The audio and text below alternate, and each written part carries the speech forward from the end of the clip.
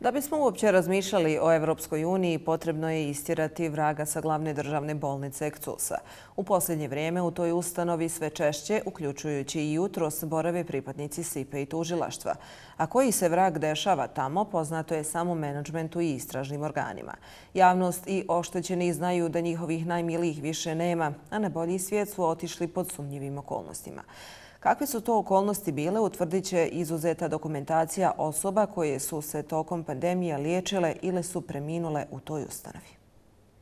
Inspektori SIPE ponovno su vršili pretrese i izuzeli obimnu dokumentaciju osoba koje su preminule ili se liječile od koronavirusa na Kliničkom centru Univerziteta u Sarajevu po naredbi Općinskog suda. Kako je kazao glasnogovornik SIPE Luka Miladinović, pretresi se dovode u vezu sa teškim krivičnim dijelima protiv zdravlja ljudi, a u vezi sa krivičnim dijelima nesavjesnog liječenja i zloupotrebe položaja i oblasti. Prema informacijama iz tužilaštva kantona Sarajevo radi se o nastavku istrage u sklopu ranije formiranog predmeta. Vrše se provjere i izuzima se određena dokumentacija po naredbi Općinskog suda u Sarajevu i tužilaštva kantona Sarajevo potvrdila glasnogovornica Azra Bavčić. Oglasili su se i CUSA kazavši da nije bilo pretresa. Zbog istinitog informisanja javnosti, CUS obavještava da su pripadnici SIPE u sklopu ranijeg postupka došli u KCUS da izuzmu dokumentaciju koju nisu izuzeli u prethodnom dolasku saopćili isk CUSA. N1 s druge strane saznaje kako su ove aktivnosti povezane sa ranijim predmetom tužilaštva kantona Sarajevo koji je formiran na osnovu pisma anestezijologa Kcusa, ali i prijava nakon dva smrtna slučaja tokom liječenja na Kcusu. Prema nezvaničnim informacijama, pretresi se dovode u vezu s teškim krivičnim dijelima protiv zdravlja ljudi, kao i krivičnim dijelom nesavjesnog liječenja, ali i zloupotrebe položaja. Prema informacijama raporte, istražitelji su bili i u posebnom respiratornom centru gdje su bili priključeni takozvani mali na respiratori, kao i u tehničko-ekonomskom bloku. Navodno se izuzima i dokumentacija o kisičkim instalacijama koje su bile problematične i nedovoljne za snabdjevanje COVID pacijenata smještenih u tom odjelu. Povodom ovih pretresa i izuzimanja dokumentacije oglasila se i supruga preminulog Želimira Altarca Čička Edina Gugać, koja je kazala kako nije iznenađena novim dešavanjima na Ksusu, te da je vrijeme da oni koji su krivi za nesavjesno liječenje odgovaraju. Gugać je najavila tužbu protiv Ksusa, ali i otkrila šokantnu informaciju. On je ušao kao COVID-negativan pacijenta izašao doslovno u vreći. Nisam još uvijek podnijela tužbu jer mi nisu dali dokumentaciju. Nisu mi vratili ni njegov privatni telefon, a neko je obavio poziv sa tog telefona gore na kcusu. Imam dokaze jer moj suprug je bio na pretplati i na listingu sam vidjela da je neko obavio poziv u mjesecu maju sa njegovog broja. Ostala sam šokirana.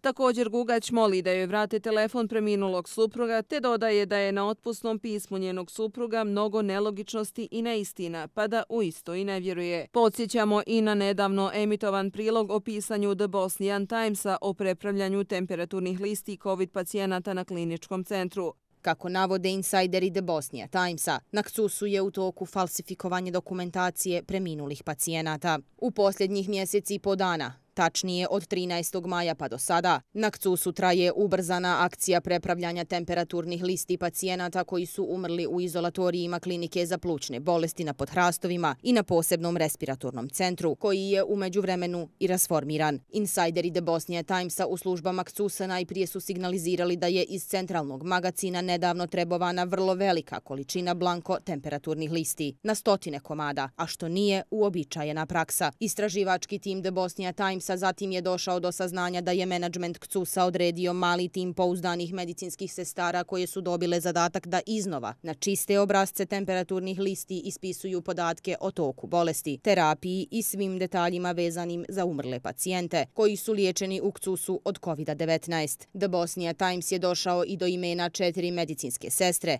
Radi se o MAG, JH, ES i IM, koje su inače zaposlene na hematologiji, maksilofacijalnoj klinici i anesteziji. The Bosnia Times nadalje pojašnjava važnost dokumenta nazvanog temperaturna lista. Radi se o dokumentu koji je uz pacijenta tokom liječenja, zakačen na krevet. U listu se upisuje ne samo temperatura bolesnika, nego i svaka tableta, inekcija, infuzija ili bilo koji drugi tretman koji se na bolesniku primjeni kao i vrijeme davanja terapije. U slučaju umrlih od COVID-19, posebno važan podatak je marka respiratora na koji je bio priključen, vrijeme intubiranja, trajanje rada respiratora, količina kisika koji je primio, pritisak i na koncu vrijeme smrti. U slučaju kada postoji sumnja u uzrok smrti, to jest u moguće nesavjesno liječenje kao uzrok, temperaturna lista je uz ostale nalaze i obdukciju, ključni dokaz kojim se dokazuje da li je bilo ljekarske greške ili je pacijent tretiran po utvrđenim protokolima.